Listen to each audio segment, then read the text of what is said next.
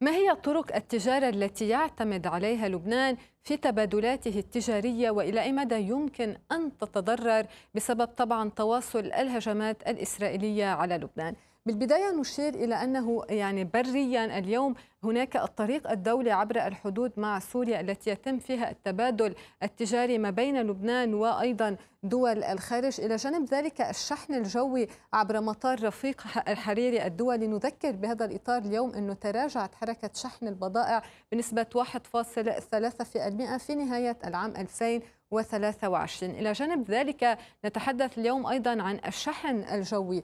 قبل انفجار مرفأ بيروت بالعام 2020 كان يمر حوالي 8 ملايين طن من البضائع سنويا وأيضا قيمة التجارة كانت ما بين 15 إلى 20 مليار دولار. سنويا. ولكن طبعا يعني بعد حدوث الانفجار توقف التبادل التجاري عبر مرفأ بيروت واستؤنف تقريبا يعني بأغسطس من العام 2024 إلى جانب ذلك إذا ألقينا نظرة على إجمالي واردات لبنان بالعام 2023 نلاحظ أن يعني إجمالي الواردات انخفض على أساس سنوي بنسبة 8% من حوالي 19 مليار دولار إلى 17 مليار و500 مليون دولار بالعام 2023 أيضا إذا ألقينا نظرة على الدولة يعني الأكثر أو هي المصدرة الرئيسية لواردات لبنان كانت الصين صدرت للبنان أكثر من ملياري دولار بالعام 2023 وهذا يعني يشكل حوالي 11.8% من إجمالي الواردات واردات لبنان بشكل عام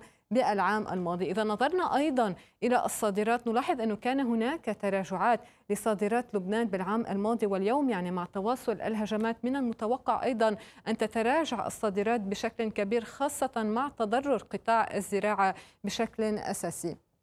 إذا إذا إذا نظرنا إلى إجمالي الصادرات نلاحظ التراجع كان بأكثر من 14% على أساس سنوي يعني إلى حوالي تقريبا ثلاثة مليارات دولار. ونشير بهذا الإطار اليوم أنه العجز التجاري بلبنان تراجع تقريبا يعني 7% إلى 14 مليار و500 مليون دولار بالعام الماضي.